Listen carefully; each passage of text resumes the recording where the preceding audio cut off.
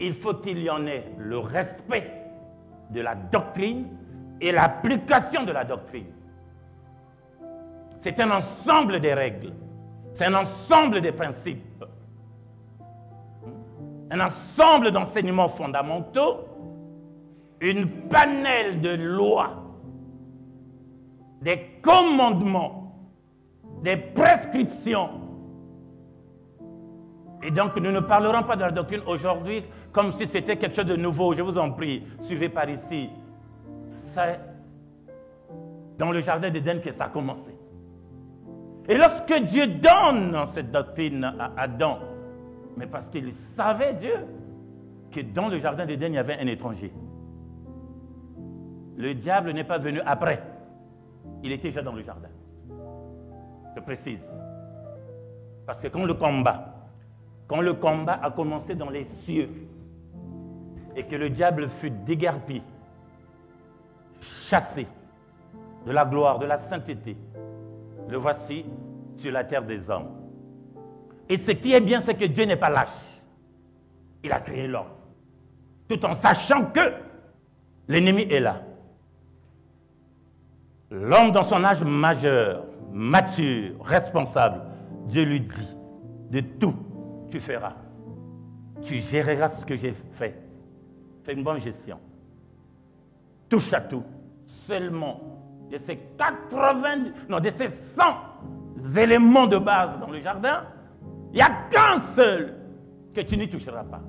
Donc s'il y avait 100 éléments de base dans le jardin, Dieu a interdit à Adam de ne pas toucher l'arbre de la connaissance du bien et du mal. L'arbre de la connaissance du bien et du mal n'était pas un arbre en tant que tel. C'est l'ennemi. C'est le méchant l'arbre de la connaissance, mais parce que le diable a aussi la connaissance. Pour avoir vécu dans le ciel, avoir servi le Créateur, a vu la manifestation de Dieu et l'organisation du ciel. Il a cette connaissance, il en a encore. Il en a encore. Cela ne lui a pas été ôté. C'est pour cela quand il vient vers Ève, il emmène cette connaissance. Dieu. regardez le langage du diable. Il dit, Ève, Dieu a-t-il réellement dit Il ne parle pas en faisant un détour, il va droit. Ève, Dieu a-t-il réellement dit Et Ève, sachant qu'il y a un Dieu qui vient nous parler chaque soir, le très haut, le puissant, certainement celui qui parle là vient de la part de Dieu. S'initier là une nouvelle mauvaise doctrine. Dieu a-t-il réellement dit? Ah ben oui, Dieu nous a dit que nous ne mangerons pas le fruit de l'arbre de la connaissance du bien et du mal. Eh ben, si Dieu vous l'a dit, il sait qu'en le mangeant, vous serez comme lui. Vous allez créer des hommes. Ève, impressionnée, se dit, waouh, va vers Adam. Tu sais ce qu'on m'a dit? C'est qu'on peut faire ceci, on peut manger ce qui est interdit, on aura une sagesse extrême et on aura le pouvoir de créer une mauvaise doctrine est entrée dans le jardin. Aujourd'hui, la mauvaise doctrine est entrée dans le christianisme. Oui, est entrée dans nos églises dites de réveil, entre guillemets. Est entrée dans les ministères. La mauvaise doctrine. Et donc, quand le Seigneur est en train de m'enseigner, frère, je prends conscience que je ne dois pas travailler à la manière des hommes, c'est-à-dire plaire aux hommes, amener les enseignements qui plaisent aux hommes. Non, les enseignements qui plaisent au Seigneur d'abord. Parce que nous faisons un travail pour faire la joie du Seigneur. Et quand notre Dieu est dans la joie, il nous libère la force. Alléluia. Fais entrer mon peuple dans la bergerie, dans l'arche. Cette arche, n'est pas un bateau que nous allons bâtir, que nous allons commander là-bas à Quimper, où il y a des grandes compagnies qui font, fabriquent les bateaux, mais cette arche est la parole de Dieu. Assem, l'Église, n'a pas une doctrine haute. Non. Vous verrez que nous n'écrivons pas des syllabus à côté pour appuyer le message. Non. Il faudrait que le peuple de Dieu ait les yeux rivés sur la parole. Le peuple suive la doctrine de Jésus, non la doctrine de David. Excusez-moi, non la doctrine de Paul, non la doctrine de Sylvain. Jésus. J'ai répété Jésus et Jésus seul. Tous ces serviteurs qui ont servi comme moi, oui, c'est la grâce du Seigneur. Mais les failles ne peuvent pas manquer. Pourquoi Jésus serait-il venu? Parce que de tous les prophètes nés par la femme, aucun n'a tenu. Il y a eu du manquement, manquement d'usage. Il y a eu des glissements. Il y a eu interprétation. Tantôt, ce n'est pas eux, mais ceux qui ont pris le relais du travail, on a rajouté. Mais la doctrine de Jésus, elle est pure. Et quand j'intitule la sainte doctrine, j'ai défini ce que c'est la doctrine. Nous avons maintenant la chose qui est saine ou qui est sainte. Quelque chose qui est sainte ou qui est saine, c'est quelque chose qui est propre, qui est pur, qui n'est pas atteinte d'une fausseté et d'une anomalie. La saine doctrine. Elle est conforme et valide au principe de la parole de Dieu, parce que la parole de Dieu est la lumière. Elle est saine, cette doctrine. Pourquoi? Parce qu'elle est intacte. Elle est valide. Elle est salutaire. Quelque chose qui est saine dans le cadre de la chrétienté, elle est, elle est équilibrée. Elle est sensée. Elle est normale. Elle est logique. C'est une opinion ou une philosophie conforme à la raison. Quand elle est saine, c'est une opinion, une opinion saine, une philosophie conforme à la raison. N'oublions pas que nous avons plusieurs philosophies aujourd'hui qui font place dans plusieurs messages prêchés partout. Et il y a lieu de distinguer. Il y a lieu de discerner. Enfin, la chose saine dans le cas de la doctrine, c'est une chose à la pondération et qui ne s'écarte pas au bon sens. La saine doctrine. J'insiste. Parce qu'il y a plusieurs doctrines. Non pas qu'il y ait plusieurs doctrines, c'est qu'il y a des doctrines, dont il y a des enseignements, il y a des règles que les hommes, soit faisant exprès, soit accomplissant la mission du diable, que le diable étant un esprit, entre dans l'homme, peut entrer dans une chose. On, en parlera de l'incarnation. Il le fait. Vous imaginez un homme comme Pierre qui a servi Jésus, qui était zélé. Il n'a pas compris à quel moment le diable entre en lui. Quand Jésus dit, arrière de moi, s'adressant à Pierre, arrière de moi. Le diable a fait une intrusion. Pierre veut défendre Jésus. Pierre refuse que Jésus ne meure, qu'il soit arrêté. Jésus dit, mais attends, je suis venu pour ça. Si je ne meurs pas, il n'y aura pas de salut. Deviens-tu avec ta force parce qu'il était bien baraqué? Pêcheur de formation, donc euh, la musculation, lui, il n'allait pas le faire dans les salles de gym. Il le faisait tous les jours quand il tirait les, filets. Et fort, il était fort. Il dit, adviendra que pourra. Et Pierre comptait sur les zélotes. Lesquels les zélotes?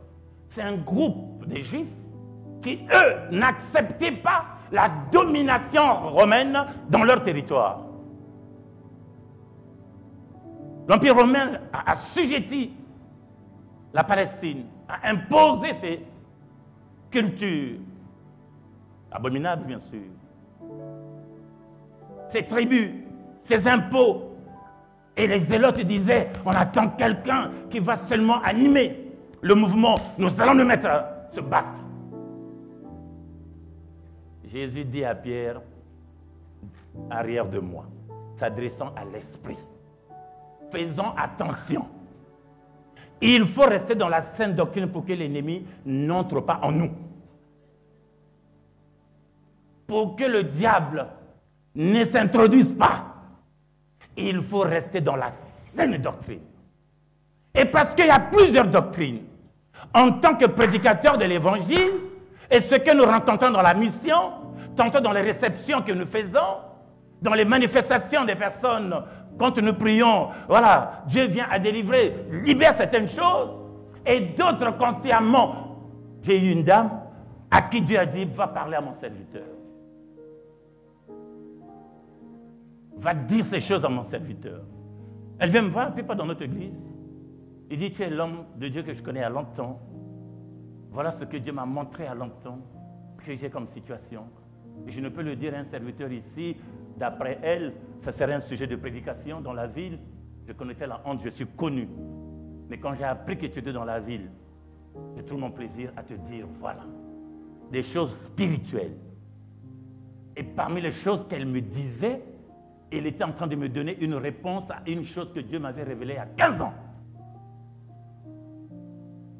Ça veut dire, serait-ce un songe, serait-ce en vision, ou je ne sais qu'à part quelle manifestation, une chose vécue, ne nous précipitons pas à dire Dieu m'a dit, Dieu m'a montré. Attendons le témoignage secondaire. C'est 15 ans après, j'ai dit, ah oui, finalement c'est Dieu qui m'avait montré. Il s'agissait d'une vie, la vie d'une personne, mais une vie mauvaise, satanique, dans la sorcellerie. Et là, un membre de sa famille vient lâcher le morceau devant moi. J'ai dit, waouh. Il y a plusieurs doctrines. Le prédicateur que je suis devait sonner la trompette. Oh Dieu bénisse notre doyen Hall. Devait sonner la trompette afin de ne pas entrer dans des doctrines étrangères. Il y a plusieurs doctrines dans le monde. Plusieurs doctrines se sont introduites dans l'Église du Seigneur. Doctrine basée sur les prophéties. Prophéties confondues avec les paroles de connaissance. Et vous attendrez des gens qui veulent les prophéties. Or, la prophétie, l'excellente, la meilleure, c'est la parole de Dieu. Les gens qui ne vont plus chez les féticheurs attendent à l'église ou dans les églises qu'on leur dise les choses des familles. Dans la doctrine de Jésus, il n'y en a pas. Si tu ne dis pas Amen, je dis Amen à ta place. J'en suis conscient, nombreux des membres de nos églises de réveil vont consulter les 10 heures de bonnes aventures. Vous êtes là tantôt assis. Quand ils disent, regardez, Christ arrive devant le euh, plutôt l'aveugle, pas Bartimée, il n'y a que deux cas de cécité dans l'aveugle dans, la Bible, pardon, Bartimée, que Jésus a guéri, parce qu'il cria, fils de David, il révèle le nom de Jésus. Euh, l'autre aveugle de 38 ans. Quand Jésus arrive devant ce monsieur, Jésus l'observe attentivement, constate qu'il n'y a eu qu'un problème de malformation, qui n'a pas d'explication biblique. Il avait bien les orbites, mais les organes de vue n'y en étaient pas. Donc Jésus observe, regarde, il sait ce qu'il a à faire. Écoutez les apôtres, prédicateurs de l'évangile. Seigneur, est-ce que ce ne serait pas ses parents? Doctrine de condamnation. Seigneur, est-ce que lui-même n'a pas péché? Dans l'explication de la Bible d'étude, il me dit, le péché dont il faisait mention, il se peut qu'il a pratiqué la magie il a pratiqué les sciences occultes et qu'il y a un retour. Et évidemment, dans ces choses-là, il y a un retour. Il y a un retour, ça n'a rien à voir. J'ouvre la parenthèse. Un monsieur que nous avons reçu à l'église de Pointe-Noire, chauffeur d'un ministre, que j'étais le nom, de ontologie oblige, et élément confiant du ministre. Servant le ministre avec tous les avantages, dans la semaine, deux fois, le ministre l'appelle, ou l'appelait, il vient, il change de voiture, il prend une 4x4 un peu fumée et tout, il dit va à la morgue municipale de Brazzaville. J'ai donné des consignes. et on te donnera un colis. Le colis, c'est un cadavre. Ah oui. Le chef a dit, c'est une mission avec un avantage financier. Le chef a dit, il doit le faire, il est l'homme confiant.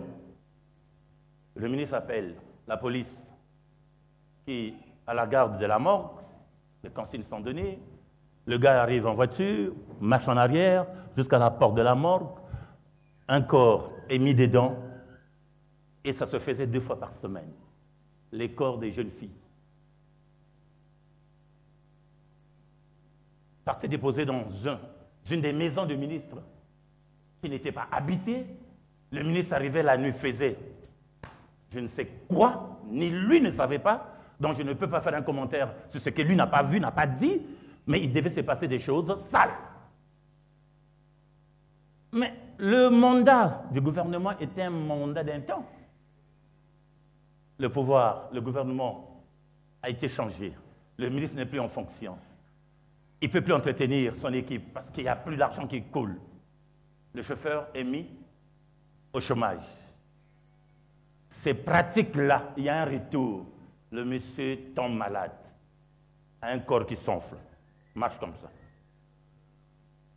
Tous les hôpitaux, qu'un traitement.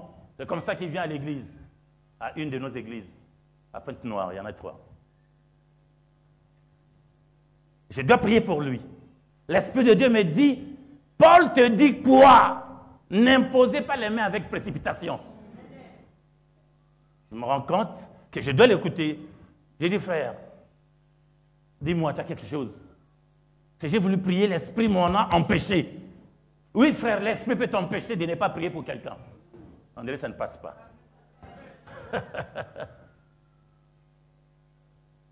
C'est Samuel, me semble. Hein? Samuel, oui. Samuel, serviteur, prophète. Voilà.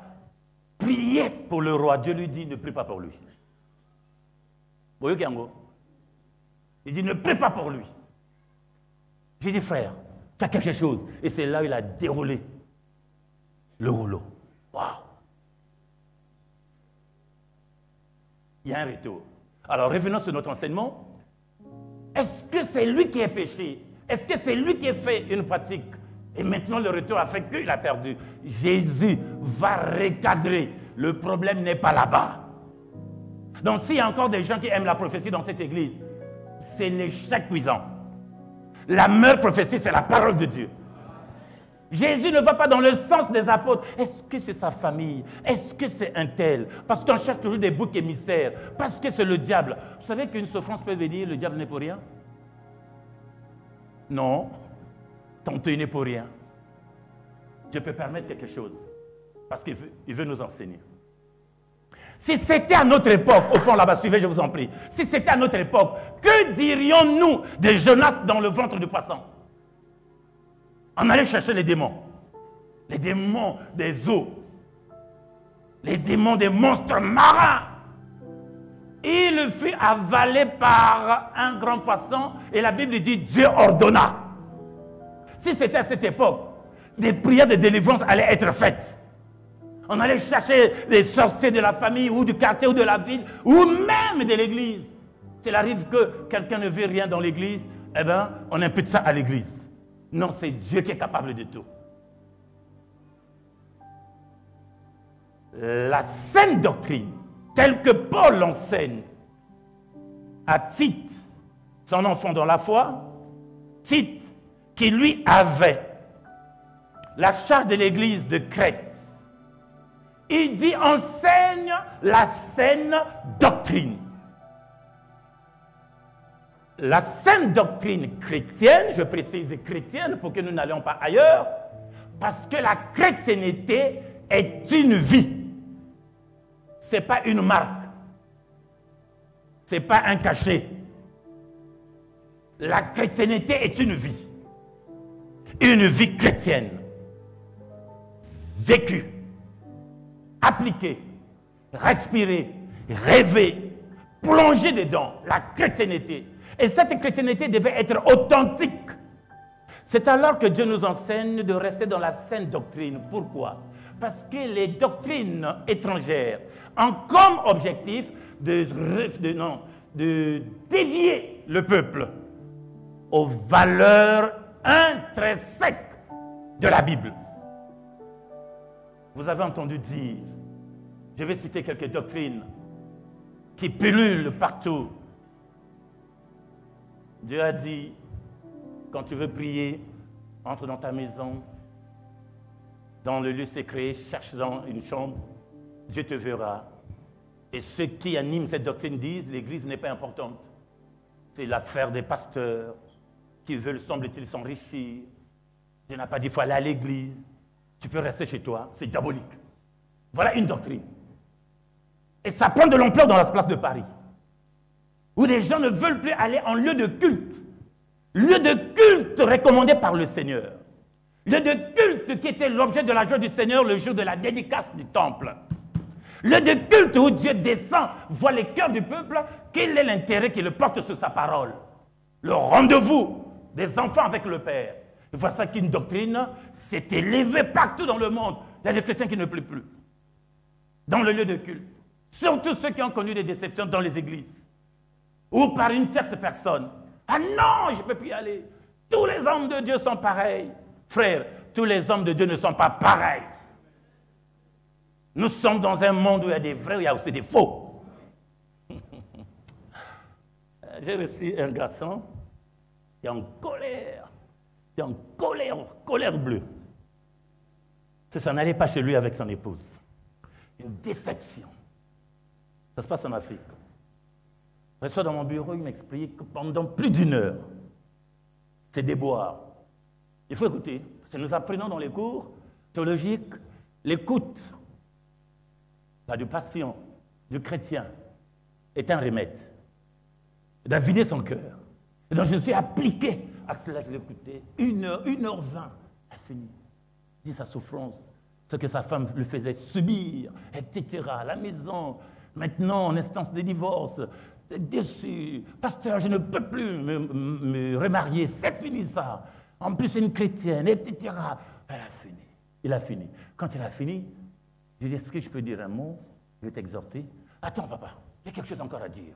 Là, il approche sa chaise devant mon bureau et on est face à face, nez à nez. Je dis, papa, ce que j'ai vécu là, hmm, toutes les femmes sont pareilles. Même maman Clémence. J'ai dit non.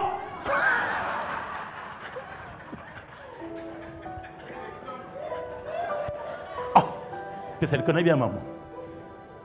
Elle regarde, il ouvre les yeux. Au fait, il était en train de m'exhorter. Même toi aussi, fais attention. Même maman Clémence aussi est pareil. J'ai dit non, frère. Ma femme n'est pas comme ça. Sa situation, il veut euh, le mondialiser. A dit non. Après, j'ai eu du temps à lui parler de Jésus. J'ai placé la parole. Il est ressorti. Il dit Ah, papa, merci. Ah, papa, merci. Ah, qu'est-ce que tu en penses? Est-ce que je peux repartir avec, avec elle? J'ai dit oui. Si tu le pardonnes. C'est tout. Ah, la parole de Dieu, c'est difficile. Hein? Ce sont 17 fois 7 fois. Ah non. Les doctrines de déviation chrétienne causent de ceci. Une autre doctrine, je cite en passant. Il ne faut pas donner l'argent.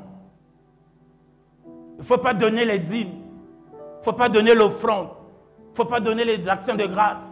Parce que vous enrichissez ces gens-là on oublie que Dieu est celui qui aime l'offrande. J'ai tout un enseignement biblique que vous connaissez, le pasteur a sur l'offrande. Mais je prends un élément pour voir comment Dieu aime l'offrande. Dieu descend dans sa présence et porte un corps. La théophanie. Vient vers Gédéon. Il bénit Gédéon en disant tu es un vaillant héros. Voici le temps de la visitation. Voici ce que tu dois être maintenant. C'est fini le passé. Gédéon se plaint au départ, mais au fur et à mesure que Dieu l'encourageait, il comprend qu'il est visité par l'ange de l'Éternel. Il s'agissait de Dieu lui-même. Gédéon dit, dans les principes nous avons reçus, une telle visitation devait être couronnée par une offrande. Un homme, c'est Gédéon, dit à Dieu, attends, que j'aille te préparer une offrande. Et Dieu a attendu. Vous voyez ça, non? Un homme, naturellement comme vous et moi, a dit à Dieu, attends, il précise, attends que j'aille te préparer une offrande. Gédéon s'en alla chez lui parce que quand Dieu va le rencontrer, il était dans les champs. Et pratiquement, ce n'est pas aux côtés des lieux d'habitation. Dans le temps qu'il quittera le champ, pour aller chez lui, on informait son épouse et appeler les serviteurs, choisir un veau gras en bonne santé, l'apprêter, dépiécer et faire la cuisine, appeler un autre serviteur, d'aller derrière le potager de la maison, c'est la culture juive. Il y avait des vignes pour tirer les raisins frais et passer à la moule, au pressoir, pour en sortir le jus frais et répartir dans le champ. Les chercheurs bibliques mettent ce temps en tranche de trois heures. Les chercheurs bibliques. En tranche de trois heures. Il revient après. Dieu était toujours là attendant l'offrande. Mes enfants, lorsque l'on nous dira ne donne pas l'offrande, c'est qu'on veut nous appauvrir. On veut nous appauvrir dans la foi. Parce qu'une foi qui n'a pas d'œuvre resterait une foi, mais elle ne pèserait pas du poids devant Dieu. Acte 10. Corneille, tes prières et tes aumônes. Tes prières et tes aumônes, conjonction. Tes prières montent, tes œuvres aussi doivent monter. Doctrine à combattre. Je vous donne cet équipement-là pour combattre ce type de doctrine. Alléluia. Ne soyez pas de ceux, acceptons tout. Allez-y dans les Écritures. Si vous n'avez pas assez d'éléments, mais tournez-vous vers vos bergers qui, avec la connaissance, peuvent faire face à ces doctrines. Parce que ces doctrines ont comme l'objectif d'éteindre le feu du Saint-Esprit dans la vie de l'Église, dans la vie des chrétiens. C'est le diable qui anime cela. Quelle doctrine encore? J'ai parlé de la doctrine davidique. Il aimait les guerres, ce gars. Il aimait des combats. Et il en a bavé, il en a peiné de ces combats. Mais quand viendra Salomon, son fils, tous ceux que son père avait causé des soucis, avaient battu à mort, avaient arraché les terres, ayant appris que David n'est plus le fils, ces gens-là se sont mis en position de reconquérir les terres. Mais la sagesse de Salomon, sagesse que Dieu lui a donnée, il brandissait le drapeau blanc. Il brandissait le drapeau blanc. La paix. Il brandissait la paix. Et vous verrez que le règne de Salomon, aucune guerre. Alors qu'on venait pour lui faire la guerre, lui brandissait. Rentrait dans un pourparler et ça passait bien. La doctrine de David, c'était une doctrine de guerre. Vous avez des chrétiens qui restent dans des combats spirituels à répétition. Non, frère. Jésus a combattu pour nous. Jésus est notre victoire. Vous allez combattre jusqu'à quand? C'est pour cela que tous les jours on chasse les démons. On n'est pas sûr de la prière faite le matin. Non Christ, par sa mort, nous a donné un élément qui nous satisfait complètement. Christ par sa mort, frère, Christ par sa mort nous a donné une victoire gratuite. Il faut faire usage de ça. Il faut le proclamer. Il faut le vivre. Il faut rester dans cette vision de Christ. Écoutez, Christ n'a pas laissé le trône venant sur la terre pour des petites choses. Il nous a donné la victoire. En Jésus, nous sommes complètement satisfaits. En Jésus, nous avons la victoire. C'est alors qu'il dit, je vous donne la paix, pas comme le monde le donne. Je proclame que tu es la paix. Rassure-toi que tu ne mourras pas. Je vais revenir là-dessus. Quelque chose me vient à l'idée. Bénis l'Église encore pour le soutien que vous avez porté à l'endroit de la famille du frère Fred. Ce frère que nous avons eu ici, et qui est parti en province, deux ans, trois ans, et puis là-bas la mort, lui a donné rendez-vous. À Brazzaville, quand le corps est venu, ses parents m'ont appelé pour animer l'horizon funéraire. Son père, sa famille a remercié l'Église pour le soutien. Vous avez donné énormément qui a permis de renvoyer le corps. Son père, dans le micro, il dit, c'est mon fils, oui, je l'ai eu, mais longtemps après, il a été pris en charge par le pasteur. Évidemment, quand il a quitté la Grèce, il est venu en France, ayant de la famille ici, bon, je ne sais pas ce qui s'est passé, il a été mis à sa propre disposition. L'Église, par moi, l'avons pris. Nous avons fait la prise en charge administrative, financière, euh, éducative, spirituelle, matérielle de temps en temps quand les moyens étaient disponibles. Et lui en donnait le témoignage à ses parents. On donnait le témoignage. Si j'ai mangé, parce que l'Église a fait ceci. Si j'ai, parce qu'on l'a connecté à notre avocat, l'avocat de l'Église, Maître Bayonne. Voilà, voilà, voilà, voilà. Et j'étais très édifié à écouter le Père le dire. Et même pour que son corps revienne, l'Église a beaucoup soutenu. Sinon, on ne l'aurait pas eu maintenant. Je donne la parole à son Père. Et je viens là, devant le corps allongé, avec un cœur serré, parce que ce garçon, je l'ai aimé. Il avait carte blanche chez moi à la maison. J'ai dit, que dire encore? J'ai un sentiment d'un devoir accompli sur lui je lui ai donné le plus beau cadeau. Et ce cadeau, c'est Jésus. Et comme il a reçu Jésus, là, c'est le corps allongé, il est auprès du Seigneur. Mais il savait qu'il devait s'en aller. J'ai pris mon téléphone, j'ai fait lire.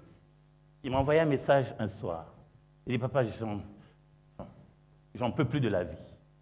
Et j'en veux plus. Je veux mourir. Il dit, ne dis pas ça. Papa, là où je suis là, je souhaite même que le, COVID, la COVID, le Covid m'attrape. J'ai plus envie de vivre. J'ai exhorté, je l'ai parlé. Il s'est retenu. Quelques jours après, il m'a envoyé un message. Il me dit, bon, j'ai décidé, papa, c'est bon.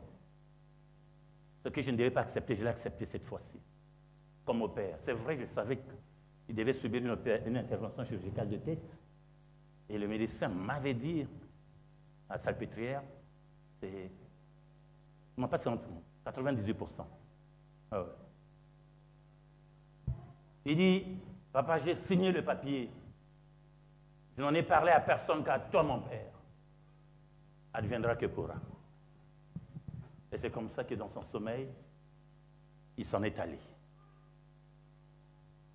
Je veux dire par là, gardons Jésus parce que nous ne savons ce qui arrivera après. Il faut garder Jésus. J'y reviens pour clore cette partie. La doctrine davidique n'est pas à adopter, non seulement pour le côté des guerres permanentes, mais le côté de la polygamie plus. Aujourd'hui, beaucoup d'hommes de Dieu défendent ça. Ô David, ô Salomon avait mille concubines. J'ai dit un serviteur, un, tu n'es pas Salomon. Deux, tu n'es pas David. Trois, et quand ils ont fait ça, quelle a été la suite? Si. N'allons pas ramasser des versets dans la Bible, comme disent les jeunes ici, euh, les versets à la carte.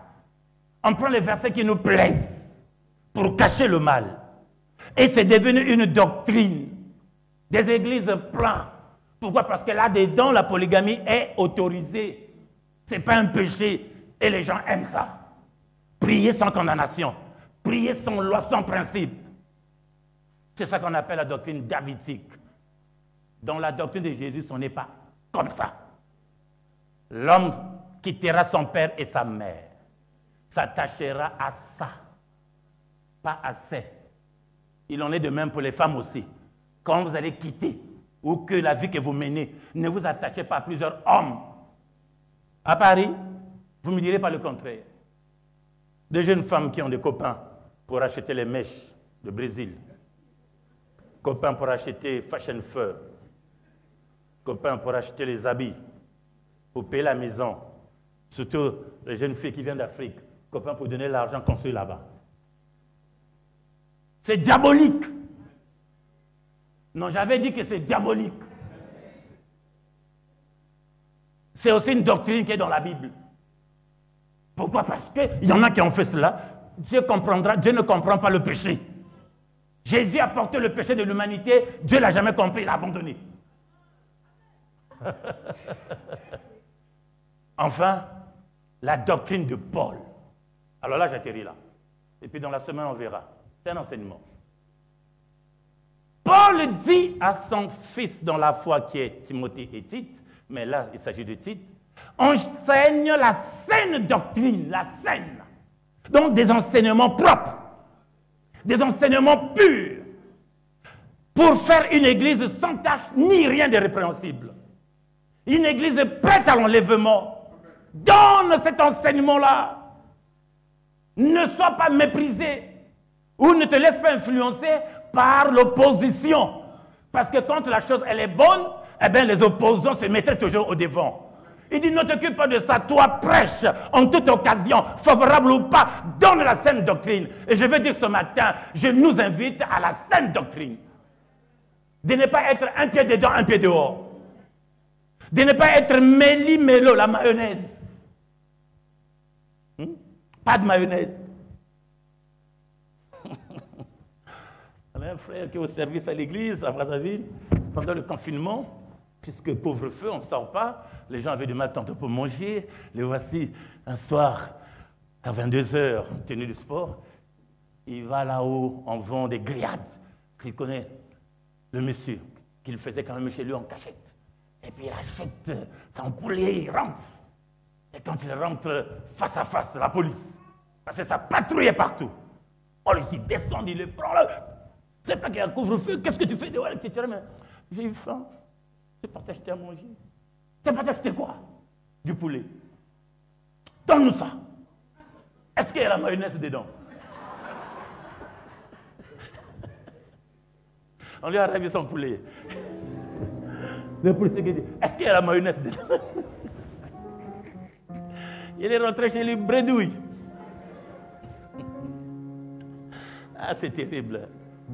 Non, on doit prier que le confinement ne revienne pas. oh Jésus-Christ de Nazareth.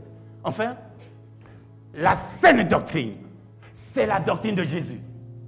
L'évangile de Jésus.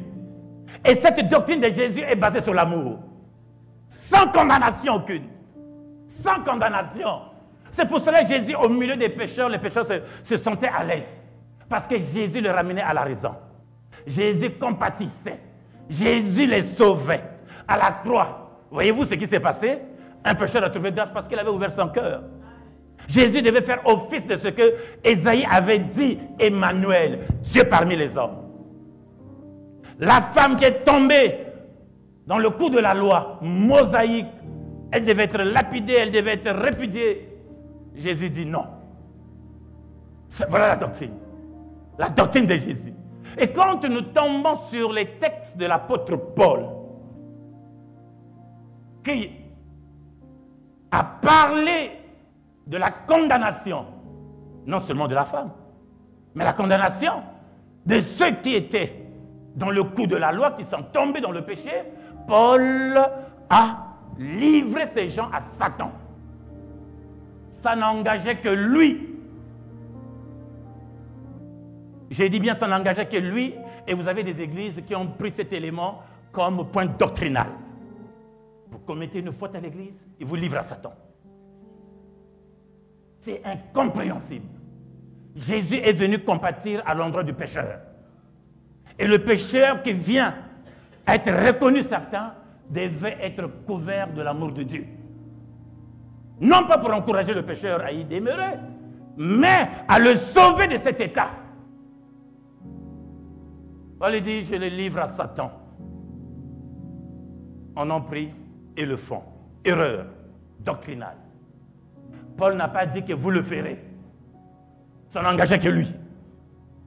N'oublions pas que dans les textes des Écritures saintes, il y a des moments ou des parties où Paul dit Ce n'est pas le Seigneur moi. Donc, trier. Et quand Paul vient à parler de la femme, parce que c'est une, doctrine qui fâche.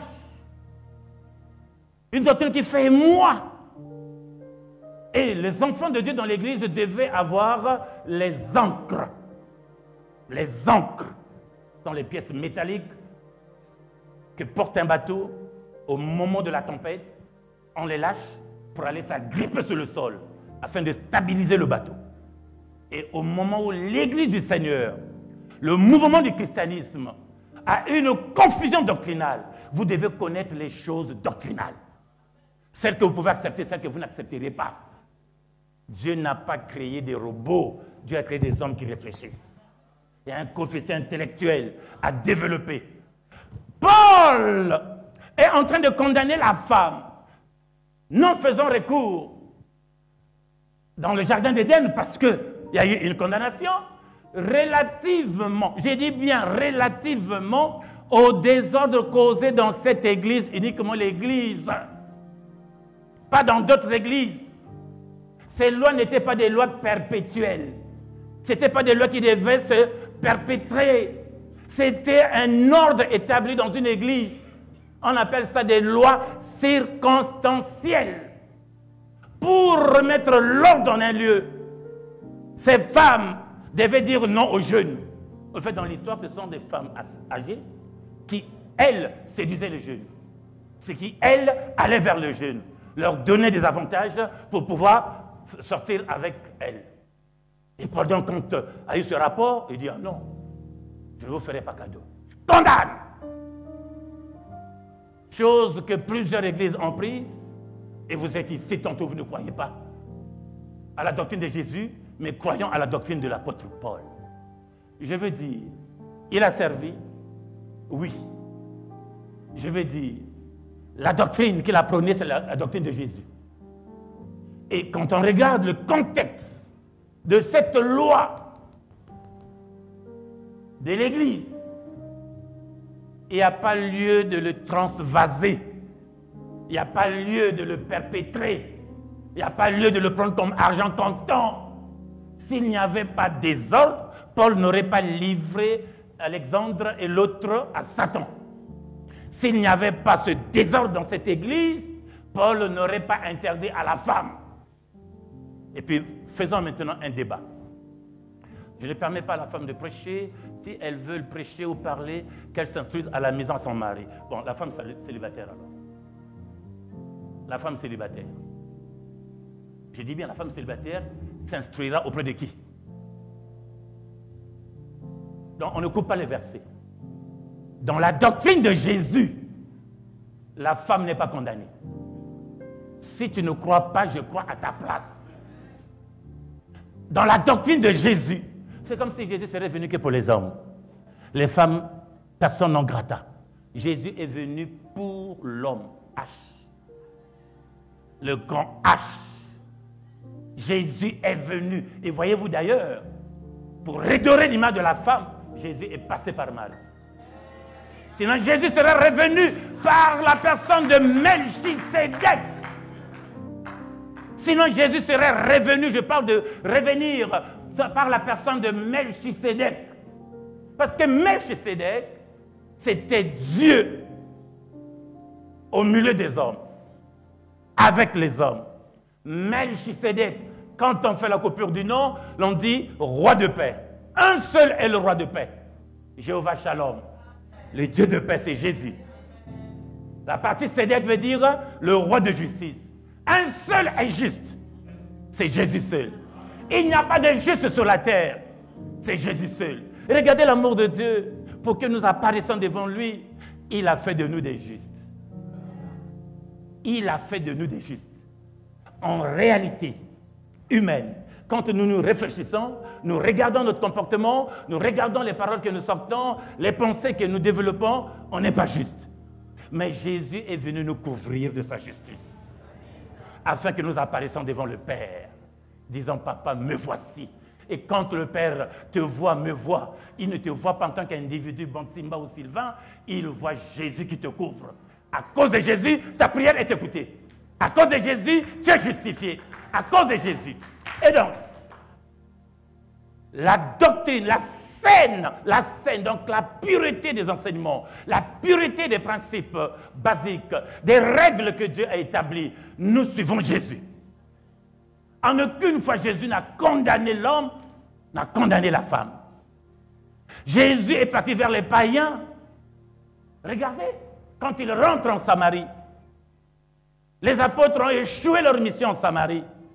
Ils ont d'ailleurs demandé à ce que le feu descende et écrase toute la ville de la Samarie. Maître, maître, Rabouni, permet que nous puissions demander du feu. Le feu descend du ciel afin que toute la ville de la Samarie n'existe plus. Jésus dit, mais vous ne savez pas de quel esprit vous êtes animé là? Je suis venu sauver les pécheurs. Jésus entre en Samarie. Dans la doctrine des apôtres, la Samarie ne devait plus exister. Jésus entre en Samarie et de surcroît déclenche une conversation avec une femme. Ah, Jésus, le Saint des Saints, la pureté absolue, va vers une femme, demande de l'eau. Et par la femme, le salut est entré. Je veux que tu retiennes ça. Aucune des femmes dans la doctrine de Jésus et l'Église du Seigneur dont j'ai la charge parle de Jésus. Enseigne l'enseignement de Jésus, la femme ne serait jamais condamnée. Vous avez dans la Bible des philosophies. Vous avez dans la Bible des principes établis aussi par les hommes. Quand Jésus dit aux pharisiens, c'est Moïse qui vous accuse. C'est Moïse qui vous accuse. Et je vous dis, Moïse a reçu de Dieu les lois, les prescriptions, certaines choses faites de lui-même pour mettre l'ordre à cette dispensation par rapport à la charge, mais des choses qui ne devaient pas aller en durée kilométrique, qui devaient s'arrêter sur une étape. Lisons, lisons les Écritures. La sainte doctrine que nous avons dans l'Église, ce n'est pas la doctrine de pasteur Bansimba, non C'est la doctrine de Jésus. Ce n'est pas étonnant de voir aujourd'hui, on brandit la photo de Jésus à côté et la photo d'un certain prophète, et jusqu'à dire que ce prophète est venu finir le travail que Jésus n'a pas fini. Quelle absurdité. C'est-à-dire avoir l'audace de dire, ce prophète est venu finir le travail que Jésus n'avait pas fini. On dirait qu'on lit la Bible de travers. Parce que Jésus a dit, tout est accompli. Tout est accompli. C'est sorti de sa bouche. J'ai tout accompli. Quel est cet homme qui viendra finir le travail que Jésus n'a pas fini? On appelle ça l'idolâtrie. Et l'idolâtrie est entrée dans nos églises.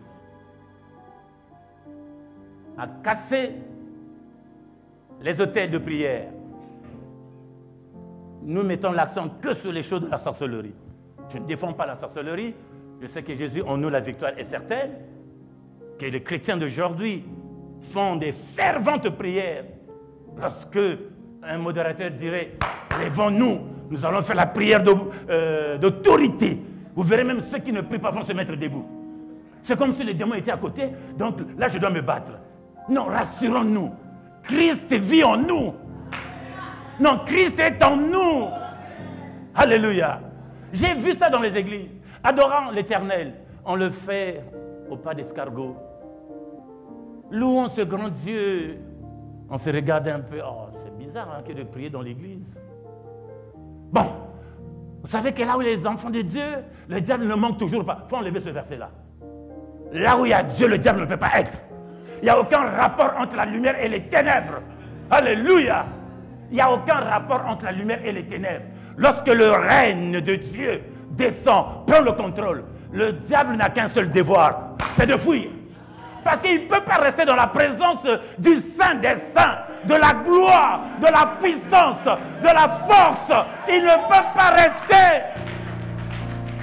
Alors vous verrez à ce moment-là les gens se lever parce qu'il faut faire prière d'autorité, on va chasser les démons. Là, tout le monde prie. Tout le monde prie. Il y a un problème, frère. Jésus est déjà mort, déjà ressuscité, monté au ciel. Il est descendu par le Saint-Esprit. Maintenant, il a demeure en nous. Et lorsqu'il est en nous, la victoire est certaine. Quand il n'est pas en nous, il n'y a pas de victoire. Quelle doctrine? J'ai énuméré dans la semaine les différentes doctrines qui sévissent les chrétiens de l'Église. Les chrétiens dans les églises. Paul serait saint et quitte de tout jugement porté sur lui devant le tribunal de Christ pour ceux qui le porteraient. Parce que Paul a dit, et vous direz, ce n'est pas dans cette vision que je vous l'ai dit. Hein. Même Pierre est en train de reconnaître le travail de Pierre, de Paul. Il dit qu'une sagesse de Dieu lui a été donnée, dont lesquelles il parle de ces choses difficiles à comprendre. De Pierre 3, verset 17 à 20. Il parle de ces choses, c'est Pierre, Pierre, qui est en train de reconnaître la sagesse de Paul. Au départ, Pierre n'a pas reconnu cette sagesse. Mais à la fin, il dit, enfin, une sagesse de Dieu lui a été donnée. Il parle des points très difficiles à comprendre. Les personnes mal affermies, les personnes ignorantes, tordent le sens pour leur ruine. Qu'en vérité, l'apôtre Paul n'est pas venu dire bois un peu à cause de ton estomac. Ah, je suis content parce que là, il n'y a pas d'amen. Arrêtez avec l'alcool. Non, mais arrêtez avec l'alcool. Nombre 6 dit quoi?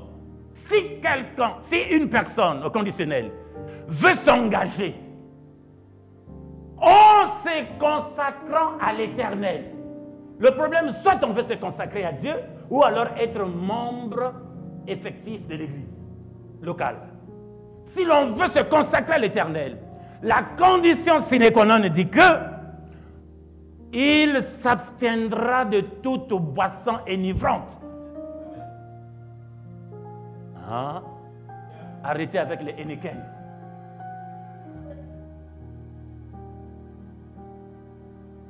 Arrêtez avec ça. Proverbe dit, ça fait perdre le sens. Ça fait perdre le sens. J'avais dit, je dis, arrêtez avec euh, euh, panaché, panaché. Vous cherchez quoi dans les panachés là? Mais il y a des doctrines qui soutiennent ça. Oui, Paul dit, à cause de ton estomac, frère, comprenons le sens des Écritures. Et pour quelle raison Paul aurait dit et c'est ce que nous nous pensons. Tiens, pour bétonner l'argument, Jésus est parti dans la fête. Il a changé l'eau en vin. Les gens se sont empiffrés. Vous exagérez. On n'exagère pas. Vous penserez que Jésus a quitté le ciel pour venir acheter les casiers d'Eneken pour les gens Mais enfin, non. Que Jésus ait quitté la gloire, descendre sur la terre juste pour une fête qui se passerait en, euh, en 3 heures, 4 heures, après satisfaire les gens. Non, l'eau changée en vin, ce n'est pas le vin que toi tu penses comme moi. L'eau changée en vin dans les vases de terre. Les vases de terre, c'est ton corps, c'est mon corps. Et parce que ces personnes avaient des choses impures, Jésus a mis la parole en eux. Déjà, vous êtes purs à cause de la parole. C'est la parole qui purifie. C'est pas que il a changé l'eau en vin. Mais non. Ne prenez pas Jésus comme une marionnette. Ne prenons pas Jésus comme quelqu'un de rien. Ce qu'il a dit dans l'Ancien Testament, il le soutient. Je ne suis pas venu abolir la loi. Je suis venu l'accomplir. Or, la loi interdisait de consommer l'alcool. Interdisait même d'en donner. Dis, moi je ne bois pas, non, moi je ne bois pas. Mais quand même, si quelqu'un vient chez moi, je le lui donne. Tu pêches. Habakkuk 2. Maudit soit celui qui fait boire son prochain. Parce que nous voulons plaire à Jésus, à rester dans la saine doctrine. Il y a un prix à payer. Et chacun de nous devrait donc voir, sommes-nous dans la doctrine ou sommes sortis? Ou nous partageons de deux côtés? Si nous partageons de deux côtés, Christ nous vomira. Il nous invite à rester dans la saine doctrine dans la saine doctrine. Raison pour laquelle il me dit, Seigneur, le Seigneur me dit plutôt, fais entrer les hommes dans l'arche. Moi j'ai peur. Quand il revient à rappeler cela, fais, entrer les hommes dans l'arche, qui est la parole? Fais le travail, oui, mais il faudrait que le peuple s'asseye dans la parole. David dit, Seigneur, je n'en peux pas. Donne-moi à demeurer dans ta parole. Et j'invite le peuple de Dieu. C'est Christ qui est l'objet de nos cultes. C'est Christ et Jésus que nous confessons. Et donc, nous avons devoir à suivre sa doctrine. Nous avons devoir de suivre la doctrine de Jésus, pas la doctrine d'un homme. Nous respectons le travail fait par les hommes, mais l'infaillibilité a été au rendez-vous. Sinon, la mauvaise compréhension des Écritures. Une panoplie des doctrines que nous connaîtrons dans la semaine, je vous invite à ne pas manquer. Ça nous aiderait à ne pas être clopant-clopant, à ne pas aller dans tous les sens, à ne pas être populaire. Je conclus. Tu peux lire Romains, chapitre 12, verset 1 à 2. Il ne faut pas venir à, ça, à ce point-là. Au fait, le problème, c'est la saine doctrine. Ne rejette pas la saine doctrine. Celui qui ne demeure pas dans la saine doctrine est ennemi du destructeur, dit l'Éternel. Ne sors pas de la saine doctrine, de la véritable doctrine de Jésus. En cela en dépendra tes succès. Vas-y, ma fille. Je lis au nom du Seigneur, dans Romains 12, chapitre 1 jusqu'au verset 2. Je vous exhorte donc, frères, par les compassions de Dieu, à offrir vos corps comme un sacrifice vivant, saint, agréable à Dieu, ce qui sera de votre part un culte raisonnable. Merci. Ne vous conformez pas au siècle présent, mais soyez transformés par le renouvellement de l'intelligence. Merci. Parole du Seigneur. L'apôtre Paul s'adressant à l'église de Rome. Oui, il s'est séjourné deux ans, louant une petite maison et travaillant pour faire face aux besoins de cette maison ou des dépenses qui incombaient. Il enseignait à l'église, les chrétiens nés de nouveau, comme toi et moi, à ne pas se conformer au siècle présent. Parce que les différentes autres doctrines qui viennent influencer les chrétiens ou le christianisme ont comme l'objet d'amener la déviation et de faire le mélange. Dieu n'aime pas le mélange. On parle en termes de, du feu étranger. Dieu n'aime pas qu'en nous, il y ait un feu étranger. C'est quoi ça? Quelque chose que Dieu ne tolère pas. Ne vous conformez pas au siècle présent, notre habillement doit être modeste. Non pas seulement les frères, mais les sœurs. Hier, j'étais scandalisé à voir les tenues que vous avez mises. Hein. C'était hier ou avant-hier. Non, il faut arrêter ça. Il y a un glissement qui s'introduit et facilement on s'éloigne et on s'adapte au mondanisme il faudrait que votre accoutrement soit digne d'un enfant de Dieu. De mettre la poitrine dehors. Mais non. Donnez-vous un peu de kilo. Que de mettre des tenues qui dessinent les culottes. Non. Ne vous conformez pas. Parce que Dieu attend par nous d'autres âmes soient gagnées. Et les âmes sont gagnées par notre façon de faire, les actes posés, notre manière. Si à l'église tu es chrétien et dehors tu n'es pas chrétienne, au fait, on s'en fout de qui là? Pas du pasteur, hein? De Dieu qui donne la vie. Or, il est dit dans Ésaïe, chapitre 1, je me moquerai, c'est Dieu qui dit, je me moquerai de vous. Je vous tournerai le dos lorsque vous élèverez les mains pour m'invoquer. Parce que vous n'avez pas tenu compte de ma parole. Là, je nous enseigne la saine doctrine. il faut revenir dans les principes fondamentaux. Il faut revenir au pas de l'évangile. Ne pas être influencé par un comportement quelconque. C'est comme ça que le roi Balak, voulant influencer le prophète Balaam, prophète a dit non. Je ne peux pas maudire un peuple que Dieu a béni. Cette influence de Balaam, on retrouve ça dans une des églises où Jean dit, euh, qu'on appelle la doctrine de Nicolaïte, Nicolaïte pardon, et de Jézabel. On en parlera dans la semaine.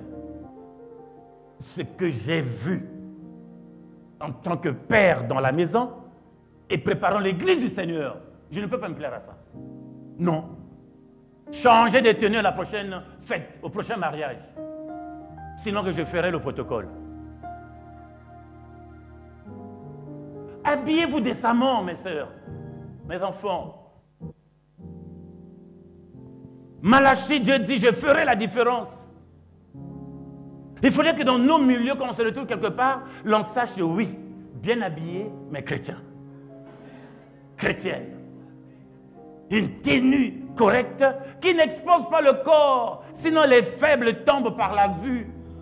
Et ils pêchent les frappes pour lesquelles le Christ est mort.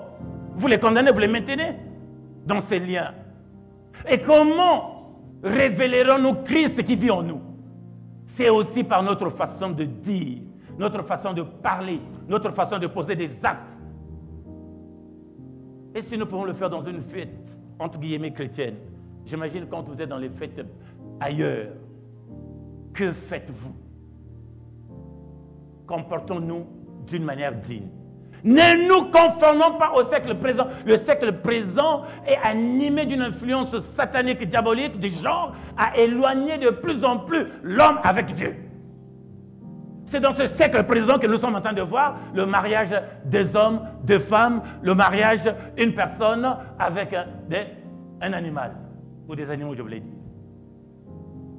Au Canada, ça a commencé. Les animaux de compagnie. Mariage à la mairie, officialisé. C'est le siècle présent. Et le siècle présent est animé d'une colère grave du diable, sachant qu'il a tout perdu. Mais il veut, il veut reconquérir les faibles. Il veut reconquérir ceux qui craignent les pas, qui n'aiment ni jeûne, ni prière, mais qui aiment venir à l'église. Le diable vient aussi à l'église. C'est un esprit. C'est un esprit. C'est pour cela que Jésus, connaissant ces choses, il dit, je descendrai cette fois-ci j'écrirai ma parole dans leur cœur, dans leur esprit. Ça ne serait plus comme le jour du tabernacle dédicacé, eh bien, j'entrerai en eux. L'important, c'est que Christ soit en toi. Christ vive en toi. Christ soit ton compagne, ton ami, ton compagnon de tous les jours. Et c'est le résultat de la saine doctrine. La saine doctrine. Pour le sérieux que nous avons dans le Seigneur, conscient que Christ est mort pour nous, conscient qu'on s'est engagé pour lui et que c'est lui qui est tout pour nous, source de vie, je m'attelle à la sainte doctrine. Ne confondons pas bénédiction aujourd'hui lorsqu'on est dans la mauvaise doctrine. Attention. Salomon n'a pas voulu rester dans la sainte doctrine. Au départ, Dieu l'a béni. Vous savez que cette bénédiction l'a conduit dans une mort précipitée? Salomon. Béni, riche, la renommée de partout jusqu'au point où la reine de Saba vient vers elle et dit ce qu'elle avait à dire. Mais cette richesse était une porte d'une mort anticipée. Parce que monsieur ne voulait pas la sainte doctrine. C'est pour cela la bénédiction vécue aujourd'hui ne doit pas t'enorgueillir. Ce n'est que grâce mais ton âme, ton esprit, Dieu voudrait qu'elle s'asseye dans la sainte doctrine. Paul dit à Timothée, enseigne la saine doctrine. Ce matin, l'Esprit dit à Sylvain, enseigne la saine doctrine. Et je parle aux enfants de Dieu, nés de nouveau, retournez dans la saine doctrine. Vivez dans la saine doctrine, d'où le thème de l'année, s'offrir à Dieu comme Kaba et pas dans Zambé. S'offrir à Dieu. S'offrir à Dieu, c'est vivre dans la doctrine saine. Et vivre dans la doctrine saine, il y a un prix à payer. Lorsqu'au milieu de nous, tout le monde va d'un pas qui est déviant, soit comme Antipas, nommé dans l'Apocalypse, au temps d'Antipas. Lui ne suivait pas tout le monde. Ne suit pas tout le monde, mais suit Jésus. Ne suis pas la foule, mais suis Jésus. Ne suis pas l'influence du monde, mais suis Jésus. C'est alors que Dieu accomplira ce pourquoi il t'a appelé à l'évangile. Il y en a qui ont déjà vécu les raisons pour lesquelles Dieu les a appelés à l'évangile. Il y en a qui n'ont pas encore vécu cela, mais Dieu le fera. J'en suis conscient. Alors que cet enseignement nous aide. Soit une porte ouverte. Retour à la sainte doctrine. Mettons-nous debout. La sainte doctrine chrétienne. Jésus seul, le chef de file. Jésus seul, la tête de l'Église. Jésus seul, le maître de l'œuvre. Jésus seul, l'absolu. Je t'invite à suivre Jésus, à ne pas te fier à un seul homme. Même si c'était un ange qui venait à te donner une révélation, fais ceci. Si cette révélation ne cadre pas à la parole de Dieu, refute l'ange. J'ai dit refuse l'ange. Il faut refuter l'ange. Pourquoi adorerons-nous les anges d'ailleurs? Ils ont refusé de venir nous sauver. Il faut le refuter. Il ne faut pas être influencé par l'ange. Non. Tu diras, ce n'est pas écrit. C'est Jésus. Le souci de mon cœur que Jésus reste au centre de nos vies. Jésus au centre de l'Église, au centre de nos activités. Et ce Jésus-là a des principes qu'il a établis. Que dit Jésus au sujet du vin? Interdit. Que dit Jésus au sujet de la femme? La femme presse l'évangile. Que dit Jésus au sujet de l'offrande? Bénissez, rendez grâce. Que dit Jésus au sujet de la marche chrétienne? Eh bien, ayez le corps, âme et esprit. Aimez l'éternel Dieu de tout votre cœur. Dedans, que dit Jésus de ta vie? Tu es pur et saint. Père, merci. Bien-aimé, les mains levées vers le ciel. Tu peux prier ton Dieu au regard de cette parole tu as des mots à dire, tu as des choses à dire. Les mains levées. Tout le monde à la prière. Prions. Seigneur, j'ai écouté moi aussi ta parole. J'accepte cette parole. Comme tu m'en as instruit dans la prière. La saine doctrine. Je dis oui à la saine doctrine chrétienne à l'évangile tel que tu en as annoncé. L'évangile du salut pour quiconque croit en toi. Père très saint, entre tes mains je m'abandonne. Mets-moi à la hauteur de vivre selon la saine doctrine. Père très saint, aide ton peuple à vivre selon la saine doctrine. Ce matin, je suis convaincu que ta parole a ouvert l'esprit, a ouvert les cœurs, a ouvert les vies, a ouvert l'intelligence de chacun pour faire ce retour glorieux dans la sainte doctrine. Oh Dieu, du haut des cieux, béni soit ton nom.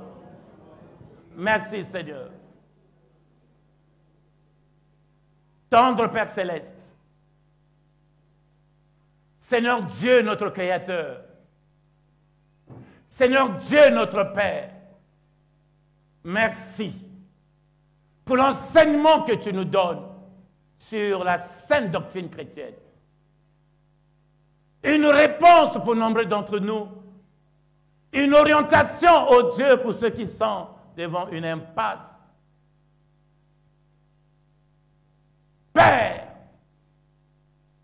il est vrai que tu envoyais ta parole et ta parole est guérie. Convaincu que ta parole nous ramène, Seigneur, au bon endroit, endroit prophétique. Ta parole nous rétablit et nous réforme. Ta parole nous recadre. Ta parole nous encourage. Par cette parole tombent les mauvaises décisions. Par cette parole, Seigneur, nous bétonnons notre foi. Par cette parole, nous avons les arts de l'esprit pour avancer tête haute avec succès et brio. Par cette parole, oh Dieu, nous sommes couverts de ta gloire. pour ne plus être emportés par tous les vents des doctrines. Toi seul en nous, c'est l'espérance de la gloire. Seigneur, merci de nous faire asseoir en toi, de nous faire asseoir dans ta parole et dans ta maison. Merci Père. Je ne peux oublier le souci de ton peuple, les raisons de leur venue. Toi qui es la solution à tout, de répondre aux besoins de ton peuple, d'accomplir les raisons de leur venue. Conformément à l'évangile selon Matthieu, tu as dit, à moi venez et vous trouverez du repos. Que toute personne n'ayant pas de repos, dont n'ayant pas la paix, n'ayant pas l'équilibre, Seigneur trouve en toi la raison d'être, le sens de la vie, la solution, la joie, la victoire. Père à ceux ou celles désorientés, Seigneur, au Dieu, par toute influence étrangère, Père, tu ramènes, oui, tu ramènes dans ta maison, dans ta bergerie, et tu prends contrôle de tout. Père accompli, mon Dieu, mon roi, ce pourquoi tu nous as réunis ce matin. Tu es bon. Un ciel ouvert pour une grâce divine, ta main étendue pour nous sécuriser à jamais, ton esprit répandu, au Dieu, pour nous habiter encore et toujours, afin que nous soyons revêtus de toutes les âmes spirituelles et des dons du Saint-Esprit alloués à cela pour exercer comme tu l'attends de nous. Bénis l'Église, bénis ton peuple, bénis cet après-midi, au nom de Jésus. Amen. Merci, que Dieu vous bénisse.